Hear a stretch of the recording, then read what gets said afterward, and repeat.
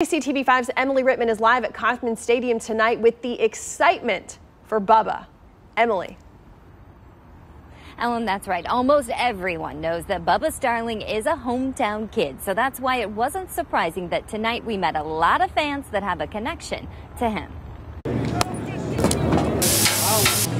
It's my first Royals game and I'm just really excited. Tonight was also the debut of Bubba Starling. All right. I'm pretty excited to see him. Um, I know he he's worked very hard. A couple years ago, I went to spring training and I saw Bubba, and I automatically fell in love with him as a player. So this is a big day, you know, eight years in the making. I actually got the chance to play against him in high school in football.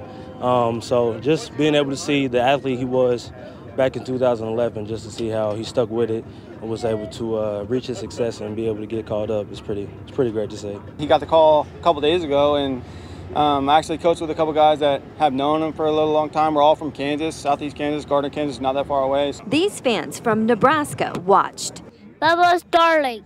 play for the Omaha Storm Chasers. and still see him grow as, as an athlete, as a baseball player. And so to be here um, for my buddy Dave's bachelor party, it, it's great to see Bubba uh, open up and see what he can do on uh, in the show, if you will, as they call it. I think there's a little bit of pressure because, you know, first major league game and this is the team you grew up rooting for.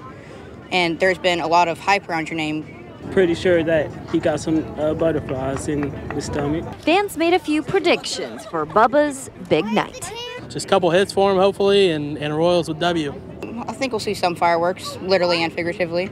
I think the moment won't be too big, and I expect him to go two for four with two RBIs. Let's go Royals. All right, high five, little man. Good job. so we'll have to wait and see if some of those predictions come true. Reporting live from the K, Emily Rittman, KCTV5 News. Thank you, Emily. Yeah, it was remarkable to hear how many people had a connection to Bubba. So, yeah, everybody wants to associate themselves with the hometown kid for good reason. All right, Emily, thank you.